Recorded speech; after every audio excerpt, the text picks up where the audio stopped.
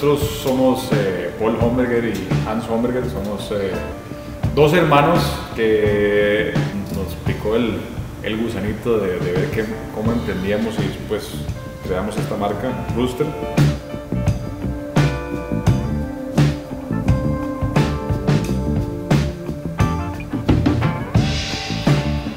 Rooster es una bebida energética natural que te da energía para 4 horas, no tiene calorías y algo súper importante es que no te da el bajonazo que te dan las bebidas energéticas convencionales. Bueno, y también es tica. Eh, somos nacidos en Costa Rica, nuestra mamá es nica y nuestro papá es salvadoreño, pero migraron aquí en los 80 por eh, los temas de la guerra y todo eso. Y nuestro abuelo paterno era, era suizo y gracias a eso nos cayó el, el pasaporte suizo. Dice que somos como las Naciones Unidas. Sí, como las Naciones Unidas. Yo estudié aquí, eh, en Costa Rica, también fui a hacer servicio militar a Suiza, aprovechando la, la oportunidad de que soy suizo. Y yo eh, saqué bachillerato aquí en Costa Rica y saqué una maestría en Estados Unidos en emprendedurismo.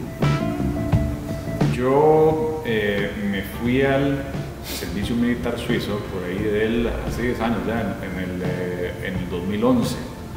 Me fui recién graduado acá, me gradué súper joven, saqué la universidad bastante rápido y dije, yo me voy allá sí o sí a tener nuevas experiencias en un lugar del que verdaderamente me habían hablado toda la vida. Mi papá evidentemente hizo también el servicio militar y pues eh, estuve estudiando francés por, y trabajando también en una compañía suiza por, eh, por nueve meses y el día que ya voy a que me recluten y todo el asunto, pues me dicen, Paul, vos te vas a la parte eh, eh, suizo-alemana. Y yo, pero yo no hablo, o sea, apenas hablo francés y ahora me van a mandar para allá. Me bajo en el tren, veo que todo el mundo hablaba suizo-alemán y yo, ¿qué es esta carajada? ¿Qué está pasando? ¿Qué, ¿En qué me estoy metiendo? Entonces ya hay 600 reclutas listos para su primer día de, de servicio militar y adivinen a quién es el primer recluta que llaman. Me acuerdo que dicen eh, reclut Homburger, daher, significa recluta Homburger, venga. Y dicen eso cuatro veces y yo, ese tengo que ser yo.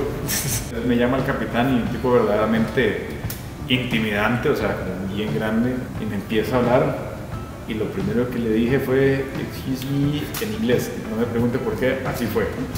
I don't understand, así con este acento en francés. Y no sé por qué lo hice así, pero así salió. Literal, eh, así empezó el primer día. y bueno, o sea, verdaderamente es una experiencia, creo que, que lo aterriza uno a tierra porque uno dormía como en, cuartos con un montón de, camas.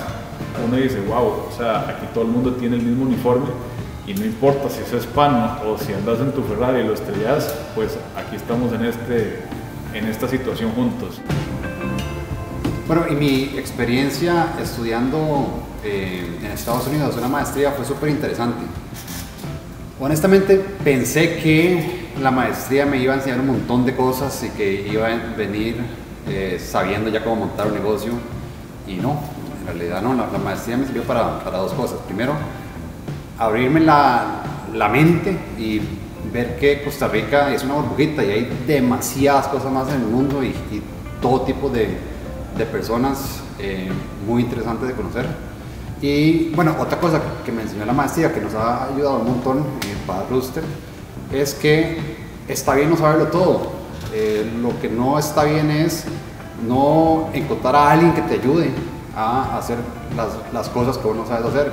Entonces, eh, básicamente es tercerizar todo lo que, lo que no está en tu enfoque y o lo que no está dentro de tus skills de, de, manejo. Pero en cuanto a conocimiento de cómo manejar una empresa, no hace falta una maestría. Lo que nos llevó a emprender Rooster eh, fueron, creo que fueron varias cosas. Primero, toda la vida por ello quisimos ser eh, emprendedores. Después, eh, nosotros como venimos de una familia cafetalera, estamos en la cuarta generación de, del café. Y si no logramos agregarle valor a la, a la producción, ya probablemente no haya eh, una quinta generación porque ya no es rentable. Y nos hicimos un, un sistema súper sencillo con la ayuda de la, de la universidad en el que le vendíamos café directamente de la finca al consumidor final en estados.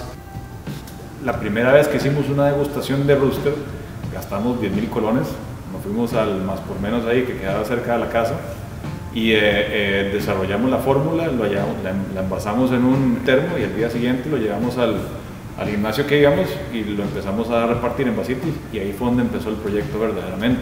Las trabas creo que vienen a nivel burocrático de cuando uno tiene que sacar, por ejemplo, un registro sanitario que uno no tiene la menor idea de cómo es que se hace eso.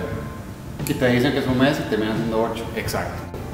La idea con la compañía siempre ha sido eh, primero usar a, Costa Rica como eh, lugar para desarrollo de un producto de calidad mundial. Esto fue hace ya siete años que, lo empezamos, con la idea de, de, llevarlo a tal nivel que se pueda ver bien en cualquier país avanzado del mundo. Y que ya estamos llegando ahí. Entonces, siempre seguimos trabajando en mejorarlo, pero ya nos estamos acercando a ese punto. Sí. Pero entonces es básicamente tener, tener una bebida energética natural hecha en Costa Rica para todo el mundo.